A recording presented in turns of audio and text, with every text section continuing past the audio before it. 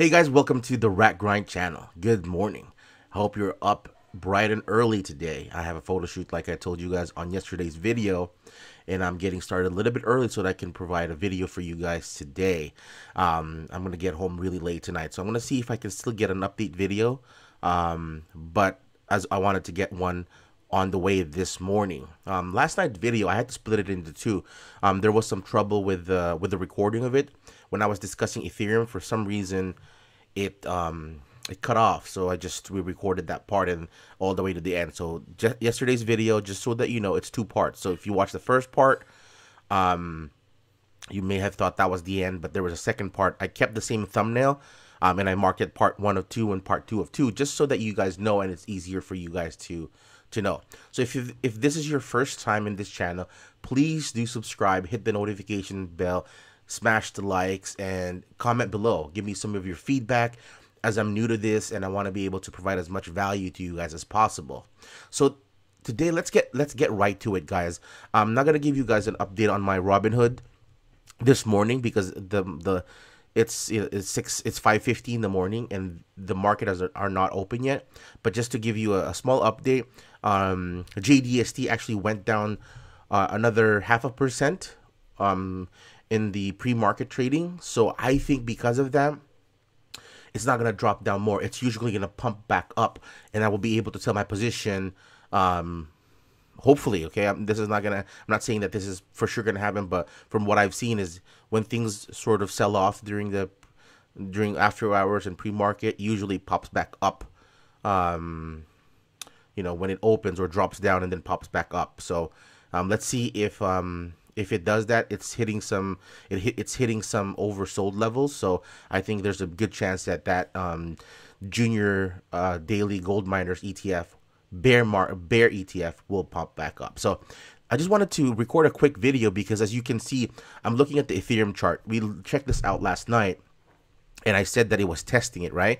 It was testing it, but it hadn't hit it. But last night it hit that resistance and then it consolidated and it's pumping back up this morning.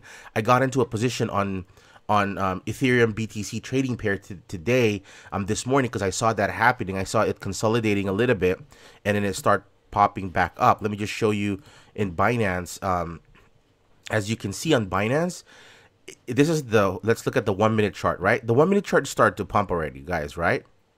Um, I got into this trade. I bought it at um, 7, 70, 78,459 Satoshis. Right now it's trading at 79,000 um, 792 Satoshi. So it's hit that resistance um, up on the top. As you can see, I'm looking at the one minute chart and it's, it's sort of having a little bit of a resistance right here in the 798 uh, level and it's dropping down. So I think it's just hitting that resistance. It's going to consolidate a little bit more. It's going to pop back up, but it's but it's really getting some big support on the 15 day EMA line. Let's look at the five minute chart. Yeah, the five minute chart, as you can see right here, it touched the um, it touched the 15 day EMA line and it didn't it didn't um, drop back down. So that's a really good sign, guys. Um, 15 minute chart, it's pump. 30 minutes, one hour. So as you as you go farther along, the chart looks better and better, guys. It's like the 30 minutes, it's it's not quite touching it anymore. So it's it's broken through. Let's say the four hour, yeah. Let's look at the one day chart. Okay, the one day chart is, as you can see, it's all green. It's going up. So this is these are the type of positions that I like to enter in when I'm when I'm trading crypto, and the volume is up today. The volume is 14,532 BTC. So that's really, really good sign. Although the RSI levels are a little bit going to the um, overbought side, so we'll have to watch that. You know, it's it's uh, we need we need a little bit more um, a little bit more um, up so that it can you know it can it can stay in that oversold levels for I mean overbought levels for you know for for a good period of time. As you can see on this side, see it popped back up, it went down just a little bit and it, it continued, it stayed there before it dropped down. So I mean it's not unheard of that it stays in the overbought levels. So just watch out for that. It hasn't it's not really it hasn't hit these overbought levels at 80 Um, it's currently at about 76. Yeah, 76, 77. But it hits, I, I believe it still has a chance to pop back up. I'm 744 um, dollars to an Ethereum right now. When I start when I traded its pair this morning, when I when I got into the position, it was 724. So it, it went up twenty dollars already. So that's a really really good sign. So um, like I always say on this channel, this is not financial advice. I'm not a financial advisor. I'm not an accredited investor and anything like that. So please take this with a grain of salt. Do your own research and don't um, get into trades just because I say so or because other people say so. Make sure that you find value, learn this space, learn this this skill, so that you can be able to see the patterns like I have. I'm pretty new to this. I've, I've only been doing this for a couple months. Um, I've learned from a lot of YouTubers, reading a lot of books. Um, you know, just getting myself acquainted with the with the industry, with the topics, with with the coins and stuff like that. Ethereum has been really, really, um, really whooped in the last couple months. From its highs of almost 1500 it dropped to there was a point when it was down to less than 300 bucks. So for it to be able to gain a, over 100% of the losses that it took that's a really good sign because it's about it's about halfway there to, to halfway there to the all-time highs. I know there was earlier this week there was some some uncertainty because the SEC was saying that um, it sold securities when it when it ICO'd a couple years ago but I think that's sort of waning down and people are getting back momentum and getting back confidence in Ethereum. So just watch that out, guys. Um, that it already. oh wow! Just while, we're talking, it broke up. So the next level that I think this is this could definitely pump is to up to 800. Um, let's let me go out of the chart a little bit. Let's look at the one hour chart. Yeah, so there's it's hitting some resistance level right here, but as soon as it passes this um 745, 746. As long as it doesn't drop down, or even if it drops, it hits this line right here and then continues its upward momentum, then we could all see all the way to 850 because there's no more resistance after it passes this line up until this about you know 850 860 level so that's gonna be something to watch for today guys so get in on that um, study that chart a little bit and see what you can do about it so I wanted to share some articles with you guys. Um, I'm a I'm a subscriber to Hacker Noon. It's a Medium sub channel that you can be able to read about artificial intelligence, blockchain, crypto, Bitcoin, or any or, or any technology related stuff. Um, there's this author, and his name is Daniel Jeffries. Um, he is amazing. His articles are just so mind blowing that the quality of the content, they're almost like reading books, right? There his his articles are a little bit longer than others, but there's a lot of articles on a day-to-day basis that you could be able to read here to see really the technology and the mindset of a lot of people within this space, right? Um, this one is a, a little bit of an older article. It's July 31st last year, so it's almost a year old, but the the message rings true, you know, still today. Um, he said that why everyone missed the most mind blowing feature of cryptocurrency. Um, and you should check out this article again. Daniel Jeffries, why everyone missed the most mind blowing features of cryptocurrency. I mean, he talks about the background of money, the ascent of money from how it started back in the day. Um, that it was a it's a pyramid that it started basically the kings, the the pharaohs and stuff like that, owning the the most wealth on top, basically controlling the money, build making the money, and then it being distributed down. But you know, he's saying that with cryptocurrency, it's upside. It's the other side. You know that the power comes from the people, and you know it it it goes back up. So basically, for a long time, it's usually the institutions, the markets, the big corporations, the big the big financial people, investors are the first into a new opportunity. You know, like the like the tech, you know, the Microsoft and the hardware tech and then the dot com days. Usually it's the investors first and then the people find out later. But this one is opposite because the people found out first and then um um you know, the the institutional investors, the institutions, the governments and stuff like that, they're sort of getting in on it on the latter end, right? So you know, it, he's saying here, you know, the kings and nation states know the real golden rule, right? Control the money and you can control the world.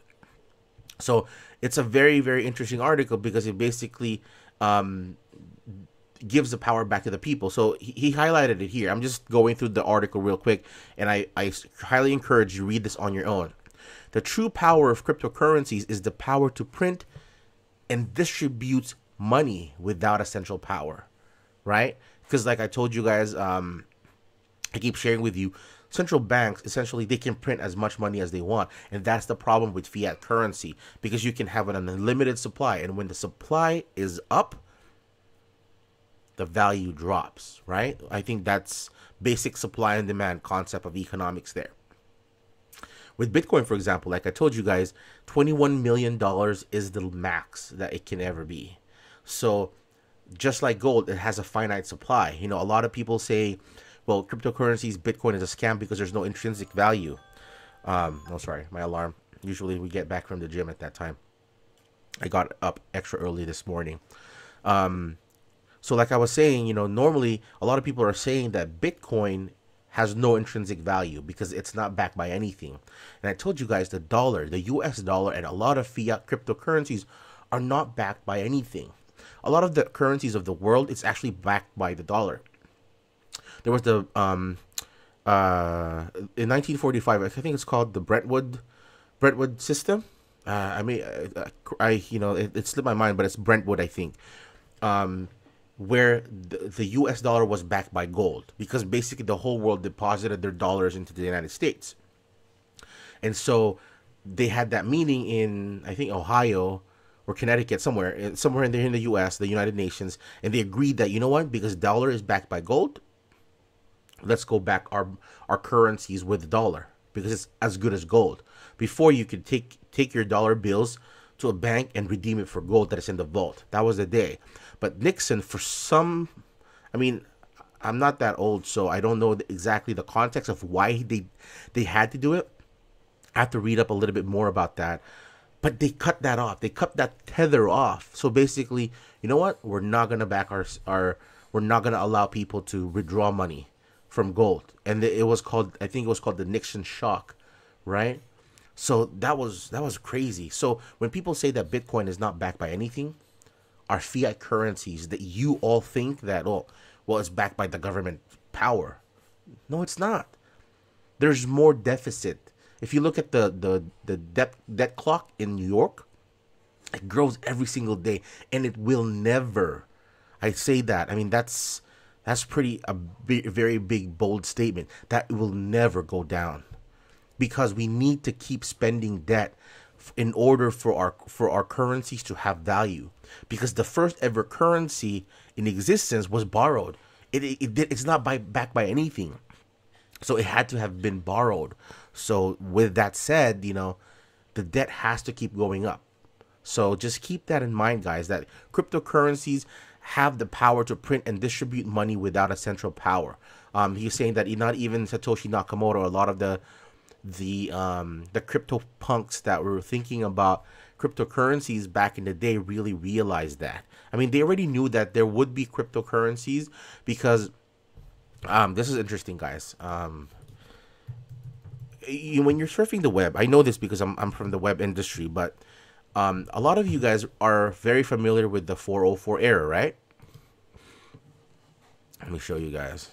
So like, like this error, like this not found. URL not found. 404 error when they invented the web. Right? Okay. A lot of you may not know this. There is error 402 payment. Basically, error 402 is payment required. So they already thought about like internet transacting money because information, the internet changed the way information is delivered. Bitcoin, cryptocurrencies are changing the way transactions are made. So that is the big difference. But they already thought about this, guys, when they invented the internet. And not a lot of us know this, but it's there. You know, error 404. Um, let's see if there's a definition on error 404. Oh, sorry, error 402. See, error the 402 error is the numerical value of the error error occurred. The error number is one of the value to identify the error. So it's it's really um, it's about transacting value over the internet. So that already existed. So read up on this article. It's very very interesting, guys. He again Daniel Jeffries. Just Google him. He's my connection on LinkedIn. Um, so if you want to follow me on LinkedIn, Chris J Cardona, um, and you can find him there and maybe connect with him, talk to him a little bit. He's a really really smart guy. I love I love his writing. I love I love him. Um, you know, there's just so much value in the, all the articles that he delivers, right? Um, just want to show you some of the stuff that he. Oh, he just did a, a review of EOS, which I'm I'm bullish on that project the greatest trading books ever written. Yeah, so he has a lot of uh, five keys to crypto evolution. This was a, another very interesting article. So just read up on him. He has quite a lot of ar- different articles here. So another thing that I wanted to share with you guys was this. This was on my on my thumbnail. Why cryptos are a growing threat to Facebook, Apple, Microsoft, Google, and Amazon. I'm sorry about that, guys. I have a I still have a cough. So the largest U.S. companies are all tech companies, right? It wasn't it wasn't always the case. Um, like if you look at this chart, same day 11 years ago, ExxonMobil, GE, Microsoft, BP, which is British Petroleum, and Citigroup, the bank. They were the five um, largest U.S. companies. Today, Apple, Google, Microsoft, Amazon, and Facebook, right? But if you really look at the growth of um, cryptocurrencies, it's really becoming evident that there, these companies, most of them, the products are still in beta or some of them are not even out and about and people already find value in them are investing in them imagine once the companies actually succeed and you know all those scammy coins projects get weeded out and the strongest ones remain. You can imagine we're talking about trillions of dollars um, worth in one in one um, in one coin. So they're really knocking on the doorsteps of of these five big guns of our US companies, right? So, I mean, I'm not saying that's to happen, but this article brings up a good point. It's on Medium. Just Google it. Why crypto's a growing threat to FAMGA. Facebook, Apple, Microsoft, Google, and Amazon. It's a really, really interesting article. I mean, there's blockchain, cryptocurrencies, decentralization, smart contracts, the decentralized community. These are all the the power behind cryptocurrency. So it's a really really great thing. Another news that I saw this last night before I went to bed actually was the New York Times was saying that Goldman Sachs to open Bitcoin trading operation. They're going to open a trading desk for Bitcoin. Goldman Sachs again, it's another. I thought I was talking about Morgan Stanley last night and Goldman Sachs is another powerhouse. Although you know they were they were very irresponsible. They were they were part of the the the real estate bust a couple years a couple years ago, almost a decade ago.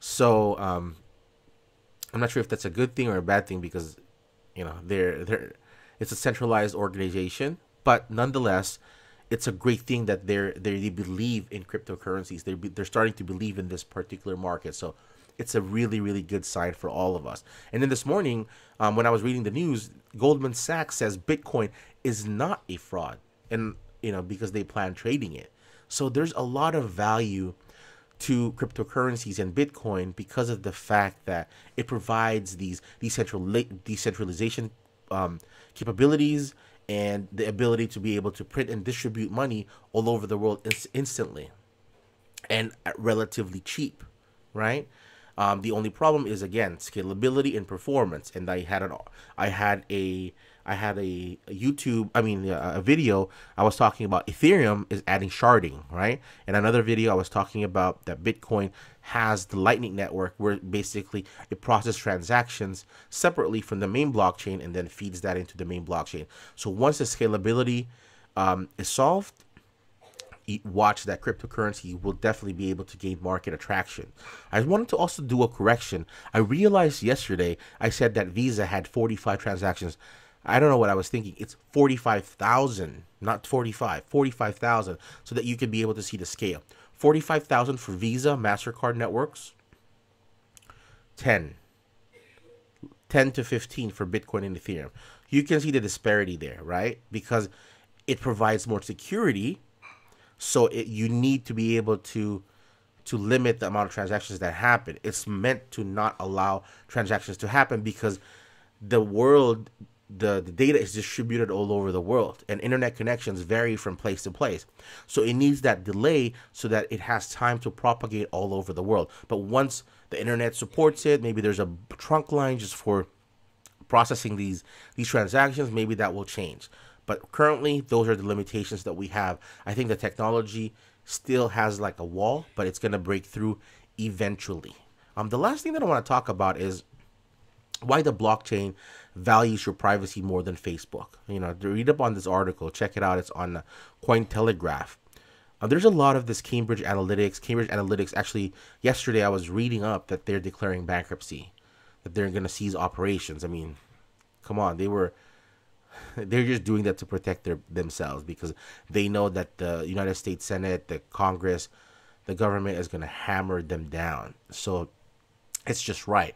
But the thing with blockchain is you, your data, you own your data. Like if you sign into Facebook, for example, you they create a wallet, like a data wallet, where you personally can choose what data it is from your own profile that you want to share with any network. So once that happens, we're going to get there. There's already a lot of companies that are trying to build on this technology, but sooner or later it's going to mature and it's going to everybody's going to be able to to adapt this technology. You know, like the GPDR, they did um they came up with laws, right? So it's all about data portability and the right to say delete me.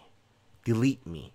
Like tell me what you got on me tell me the file that you have on me and give me the opportunity and right to tell you no give that delete all of that so that's what the gpdr really wants to allow us consumers and regular people to be able to do. So that is really where the blockchain will shine. And i think it just comes at a very critical moment in our history that we have this amazing technology right? I want to read an excerpt a quote from here from um, the founder of Valid, um, Daniel Geiste, Geiste, Geistiger, Geistiger. And I'm sorry if I if you ever listen to this this video. I hope I didn't I I, I pronounced your name correctly, Daniel Geistiger.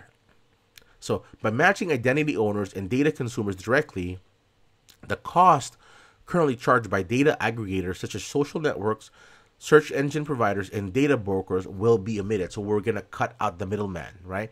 We don't need them to be able to hold our data. We need their service. Not to say that we want them to go away. We want the technology that they provide, but we want to be able to do it with control of our own privacy, with our own data, right? Because, like I was saying last night, 12 million people, the Commonwealth Bank of China, of uh, Australia lost 12 million people's financial histories. Think about that. The gravity. 12 million people, guys. So that is um that is just mind blowing. So and hacks happen. It's just it's just crazy. So we definitely need to be able to protect our privacy as much as possible. All right, guys. Well, before I go, let me just let's look at. Oh wow. Okay, so it um it bounced a little bit, and then it's, it's that's the one hour chart. Let's look at the one minute chart. I just want to give you guys before before we get we get out of here if what's happening. Yeah, so that's really good, guys. So it broke through. It bounced on that res- previous resistance and it's breaking off. So that's a really good sign. So watch out for this today. I'm gonna try to see if I can record a video tonight, even just a short one, just to give you an update on what happened. But it's it's at seven hundred forty four dollars, so that's amazing. That's amazing. I got into a trade on this early this morning. I mean, I'm holding a lot of Ethereum, but I just got in on it. I did the Ethereum BTC trading pair, and I just got in just to be able to make my gains for today. So that's pretty much it, guys. I hope you have a wonderful day today. I'm I'm gonna try to record a video, but if I don't see you, I'll see you on the next video. And I wish you and your family have a success filled day.